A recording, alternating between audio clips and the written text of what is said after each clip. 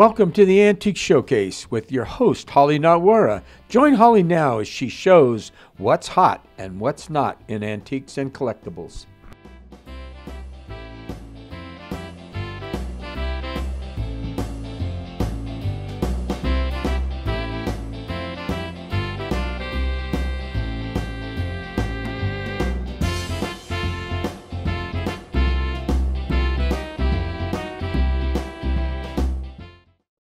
Sierra Car Service has been in business since 1978 as a full service auto repair garage. For minor maintenance like oil changes, fluid checks, engine diagnostics, and tune ups, to more advanced repair like full engine rebuilds, clutch work, and brakes, Sierra Car Service does it all.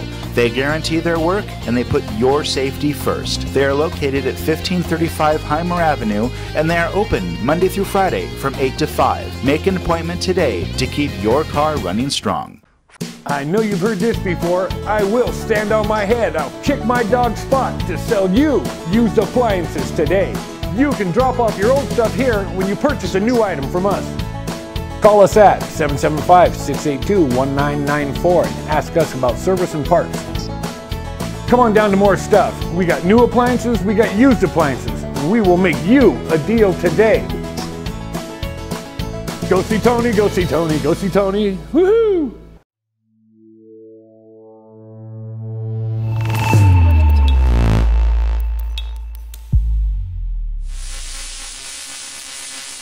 At Technology Center, you'll find everything the big box stores have. A large showroom full of electronics, computers, monitors, keyboards, and all the accessories for your home and office needs. Technology Center now has two locations. You don't have to leave the area to get satisfaction. At Technology Center, we know computers. Johnny Gunn spent years on the LAPD as a well respected intelligent cop. When an internal affairs investigation involving a close friend causes him to give up his shield, he spends the next five years as a struggling private investigator. When a case falls across his desk, Johnny follows clue after clue that links not only his former police colleagues, but has ties to past murders, a cover up involving a state senator, and a large drug cartel that wants him dead. Follow the adventures of Johnny Gunn from Trinity Heart Media.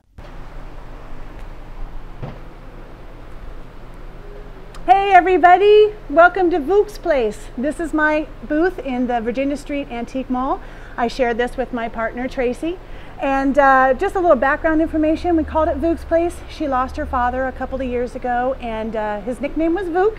So in honor of him, we named it Vooks Place. So this is it. This is where some of my stuff ends up.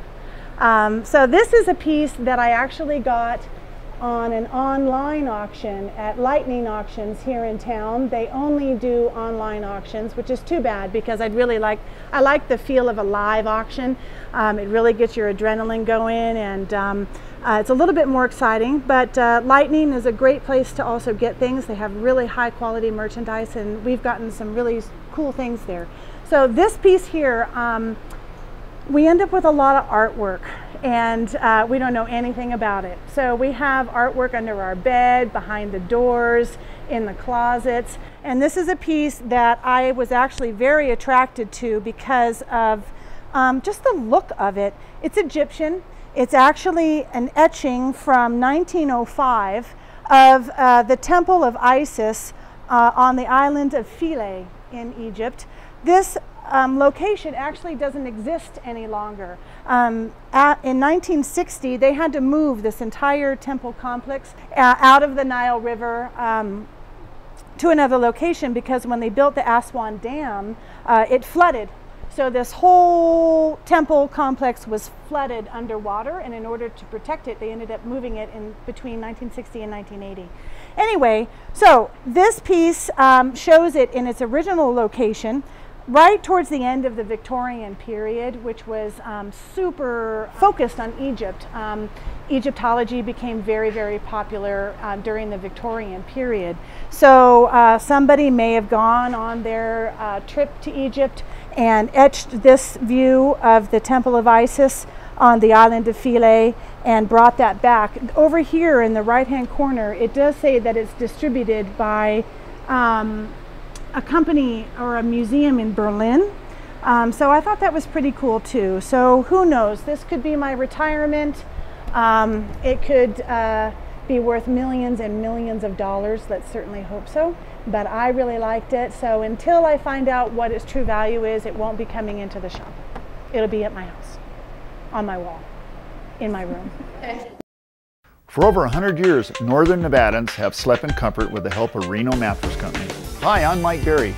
Can you flip your mattress? If not, let us custom make your next mattress. We offer Talalay latex rubber, memory foam mattresses, foam rubber cut to size, water beds and accessories, electrical adjustable beds, and more. Plus, we specialize in custom sizes for your home or RV. Reno Mattress Company has been the place to shop since 1910. Come visit our showroom at 1210 East 4th Street, and remember, if you sleep on it, we can make it. Nevada West Magazine premieres March 1st, 2016. Formerly the In Reno magazine is now being distributed throughout the five western states with a new name and size. Nevada West Magazine will now be the more popular format of 8.5 by 11. Get your copy now from one of our friendly distributors. Retailers and other businesses can now advertise to a greater audience than ever before. Please contact our office and place your ad today. Um, here's an interesting piece. This is a glass vintage urinal. I purchased it for $20. The book's as high as $100. Uh, it's very rare. Uh, uh, there's no flaws, no chips. Uh, and here's another one that I purchased that same night. It's a $20 urinal. um, they actually used these uh, 50, 70 years ago. Uh, just like this. I was going to get to this one. This is a chamber pot. It's very old. It's it's hand painted roses. Um, it's really a nice piece. Now, uh, I I bought this at Sandy's. I think for I know it was under. It was for fifteen dollars. Well, this books. This is another good find. It books for usually for over a hundred. Um, here's the rose. I estimate 50 to 70 years old. Uh, not a scratch on it. And what makes it interesting on the bottom, it says, uh, I got it upside down. It says, Merry Christmas. It says, to Dad, Merry Christmas, love Pat. Okay, maybe she made it back then for her. I don't know. Uh, but it's I, there's similar ones that are very close for going for up to $150 and it's got a handle uh, it's it's good shape. Some people use them for flowers uh, decorations on their dining room table. You know it's just an unusual piece. It's a chamber pot. Okay why did I buy them make a buck. It's so cheap I couldn't resist it all right so as you can see I have Barbara she belongs to me I was a little bit sneaky about what I did um, because I wanted this so badly for myself that I hid her in the stack of other playbills, hoping that no one else was as big a Barbara freak as I am. And so um, I ended up bidding on it. I got the whole stack for very cheap, and so now I have this collectible, and I am so excited because um, I love Barbara. So um, I did end up with a couple of other playbills that turned out to be worth some decent money. Um, they run about $10 a piece. You get into big money when obviously they're signed by members of the cast, but just a regular playbill, depending on which play it's from, um, sells for about $10 a piece. These probably won't come into the shop here. I'll probably put these on eBay. Um, someone from back east, a big Broadway fanatic, um, actor in LA or New York, uh, Chicago uh, might be interested in some of the other playbills that I have, and so uh, this will probably end up on uh, eBay. But this is going into my own Barbara Temple. Yeah, when this went up, lot 163 with the John Deere uh, table lamp, uh, which I think is just so cool. I just had to have it. This one just fit right in. You know, it's about 16 inches high, and, and Look at all the details. Look at the John Deere parked in front of that, that barn. Oh my God, you know. Uh, I go, I got to have this. A lot of people probably don't realize that they change the patterns every year. This is a 1999, very collectible lamp. Uh, I can get 65 for it. I know it. Uh, somewhere between 50, 50 and 65. They sell new ones, brand new ones that look kind of the same. Uh, they have the tractor and everything on Amazon for $39 plus shipping. So I go, this is collectible, but 19.99, and uh, I can sell this within a month. So anyhow, uh, here it goes. It comes up, and all of a sudden I see all these play cards in front of me go up, and I'm going, whoa! And I put mine up, and and uh, it just went back and forth, and there was Holly. You know, she's always dogging me on tractors, and uh, uh, uh, I just, God, I couldn't believe it. Anyhow, I won it. I got it for thirty-seven dollars and fifty cents, but I paid too much, and uh, it was just, I'll, I'll double my money, no problem. And this is just such a good piece. 1999 John Deere, licensed. What the heck? And what kind of tool did you say this was? I think it's an old uh, Ford. I'm not sure. Yeah. It's just an old automobile or an old uh, farm tool. Uh huh. I had two of them down in the box. Yeah, no, you've got another one down there Yeah, that's but The reason I picked that one up was because of that 25, 30 seconds. That's interesting. is, uh, it's five, right? Yeah. tw- Yeah. 25, 30 seconds. Very cool. And I'm really, I wasn't familiar with that. Right. Well, and I like I just like the shape. I mean, you could just Yep. hang that up on your wall just as decoration. Sure you could. You know, just with the shape in your in your garage or you know on your wall or whatever. I I, I love that. That's fantastic. Key words. Yeah. Very cool. Well, and Hot August Nights is coming up, so I, Oh, I I think know um, yeah. Rodeo. Oh, that was passed already. And Hot August Nights is here somewhere. Uh, Maybe I bought Christmas and Hot August Nights. Yeah. Well, the other thing that what what was your name again? Bob Craig. Bob, I'm Holly. You got your yo-yo yo-yo string on there. There. Well, the other thing that's very cool that I think is very prevalent for Hot August Nights are the yo-yos. Can you tell me a little bit about yo-yos? How did you get into collecting yo-yos? I started saving them when uh, I couldn't find the Duncans anymore in the uh, yard sales and the flea markets. Uh-huh. The old Duncans seemed to be just disappearing, so I started collecting them about 10, 15 years back. And Uh-huh. I've been saving them. And well, you've got some uh, Older wood, right? Some wood ones, the Duncan. And are you uh, quite the yo-yo trickster yourself, or no? I can do the basics. Right, you can make it go up and down. Oh, yeah. can you walk the dog? Yeah, but not on this. Uh-huh. Scar 'em up. Yeah, yeah. But yeah, the basics I can do.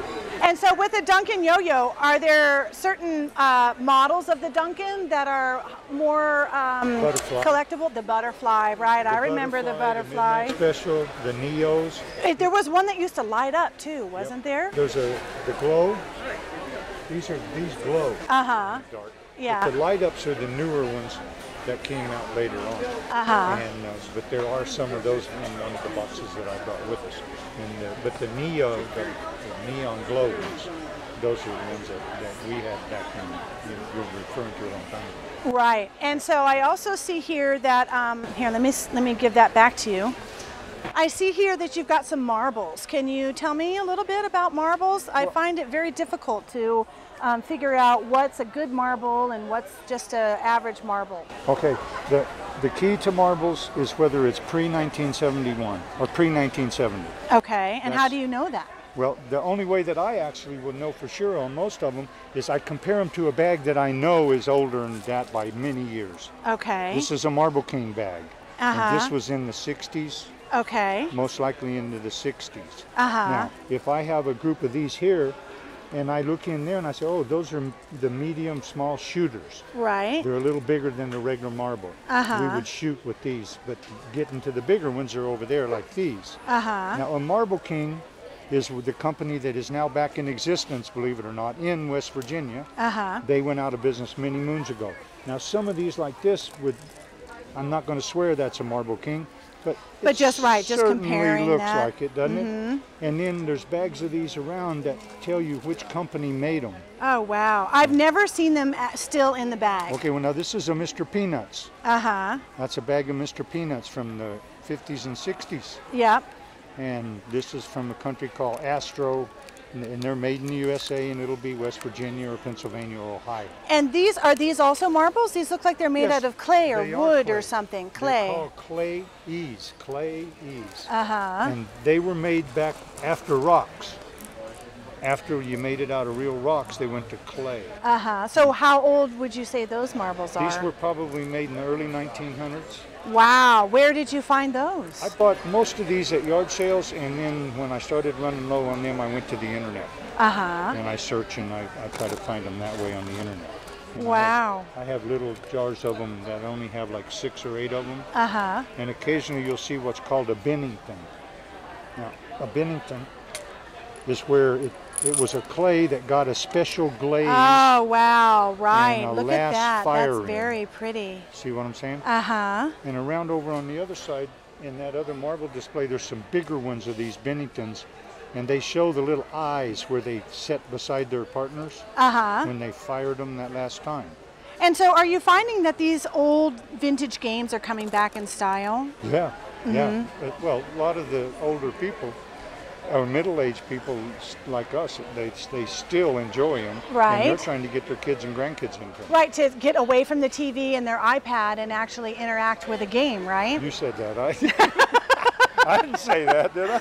I have I'm one, just kidding you. one more question for you. These small uh, pool They're real balls, pool balls. but why are they so much smaller? The Well, size because here. of the size of the pool table. These are real pool balls. uh huh. Here's the cue ball. Right. 1 through 15 is a set for a small pool table in, a, in your den or wherever. Uh huh. And then these are some extras that I've accumulated over the years. Uh huh.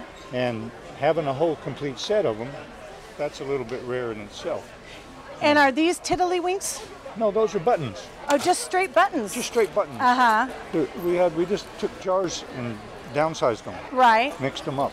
And uh, with buttons, are is there something in particular that that Old ones, old ones? the older ones. These are new ones. Right. How can you tell it's an older button? Well, you either got to know it, Uh huh. or you got to have one of those ladies around here that's experts come by and tell me. The lady expert. Why don't you come on over here, lady expert? Oh, not that one. Oh, not you? You're Oh, not but the lady knows- button expert? Kathy, Kathy is. She knows more about the buttons than I do. That's yeah, for sure. yeah. And uh, but the bags of buttons, the they like to go through them over at Alameda at the antiques fair over there. Uh-huh. And there's a couple of different ladies that come around and teach me a little bit about them. Yeah. Now here's another couple of small different bags of them. Now these are the old vegetable buttons that were made. Vegetable ivory is what they're called. You leave them out in the hot sun, they melt Uh huh. and they get moisture in them. Oh, But wow. They're called the old. They're old. Uh huh. and there are people who collect these. Right. And what what I have done is over the years, same as with the marbles, Uh-huh. you find a big old jar of them, Right, and just start comparing. them, Uh huh. and you save them, and then later on you learn where they are and Right. what they belong. What, Well, and it keeps your your mind going. It keeps your interest going. It keeps you on that hunt, you know, and continuing, right, Yep. to learn more and more. Yep. That's what I love about this business. Is it's a, it's, it's a learning experience every day for both the dealer and the collector, and the kids. right? Yeah, the young kids and old kids. Very good, Bob. Thank you. It was nice to meet Thank you. much. You take Right care. on. Bye-bye. Thank you. Right on. We'll see you in just a minute. Imagine having a dog that responds to every command, one that comes when called, calmly greets you and your guests at the door, and is a joy to be around. Well, now you can. Sit Means Sit Dog Training of Reno has been providing customers with quality dog training services for over 10 years. Let our staff of certified professional trainers use the latest and greatest scientific methods to get the best out of your dog. From potty training puppies to solving the most demanding behavioral problems, Sit Means Sit is the answer. Call now for your free consultation. Are you working your computer or is it working you? Donate your old equipment and get a new to you computer. Save money while helping your community. Proceeds go directly to disability resources to help individuals in our community with disabilities have a better quality of life. Give, get, and save at New to You Computers, 50 East Gregg Street, corner of Gregg and McCarran in Sparks. Call 329 1126 or find us on Facebook at New to You Computers or Disability Resources Incorporated. Okay, now I'm on 61, a vintage table fan, right down there. There it is, 20. 20 now 5. How about a 5? Anybody get 5? 5, anybody get 5, anybody get 5, anybody get 5, 5 here now 30. 30 here now 5. 35. How about a 35? Anybody get 35 at get 35? Nice color. 30 now 35. Oh, you did? She's 25. I need to be 30. Anybody get 30? You're all right at 25 still? And now 30. How about a 30, 30, 30? Anybody get 30? Anybody get 30? Anybody get 30 dollars? Anybody get 30 dollars? Sold me at 25 dollars. Fire number 316. making her so happy there. I know, it's unusual, but I was women happy. So this is the fan that I won at the auction down in Sacramento. And it's very cool. The color is awesome. The style is awesome. And it's the perfect example of what not to do. So I did not preview this fan. I saw it just before it went up on the auctioning block and um, I instantly fell in love with it because it's the style um, time period that I'm, I'm really in love with. And so I let my heart get ahead of my head and I bid on it without looking at it first. So when I got it home, all excited about plugging it in and seeing how I was gonna, you know, uh, price my fan, I was probably gonna price this around 50, maybe $55. Um, I paid 25 for it, so I was gonna double my money, which is pretty decent. I discovered two things. One, it's broken right here. So uh, the um, caging is pulled apart here at this um, brace point. Not a super big deal, but if you're a perfectionist like me, that would bug you. And two, it's broken right here. So I went to go plug it in and I was feeling the cord, making sure that it wasn't broken at any place. And I discovered that, um, oh, actually it's on this side. Way up in here, the wire is exposed. So pretty big fire hazard, not a good idea, could electrocute yourself. self. So um, now what I have to do is something that um, I don't mind doing, but it drives my partner a little bit crazy, which is I have to fix this. So um, I'm not a big electrician. Sometimes I get my dad to do stuff for me, but he's a huge procrastinator, so it could be, you know, 2020 by the time I get this fan back, and who knows what's in style then. Because I like tools, I'm a tool fanatic, Uh-huh, and yep. um, I love this pick right here. You've this got is a Southern gorgeous. Pacific Company uh, miner's pick. Well, it's, it could be a miner's pick. So how do you know it's Southern Well, Pacific it's- Company? Well, it says right here, Southern Pacific, SP and Company. wow. Sometimes it'll say SPPC, but the older ones say SP and Company. So how old do you think this pick is? They're probably from the 30s or 40s. It Uh-huh. could be. It could be. Yeah. Um, and uh, these are like coal shovels. Right. Oh, I always think of these Could as um, horse poop shovels. They could be a dual purpose. You could use them for anything you want. Very cool, though. So, um, do you find that tools are kind of a hot item, or do they wax and I wane? Like tools. and uh, you know, yeah. they're still practical. you know, usable. And, Uh-huh. And they're just they have a certain uh, character of their own. Right. You know. Right. Well, then they just don't make them like they used to. They right. don't. I mean. I. They I make was, them a lot lighter. That's well, that's real metal. true, right? Real metal and real, real sturdy, heavy wood. Absolutely. You know, I was using a tool the other day, and the head of it fell off, and the stem of it broke, and I was like, "This is a piece of This one you junk," could uh, you know. use for another 20 or 30 years. At least, right?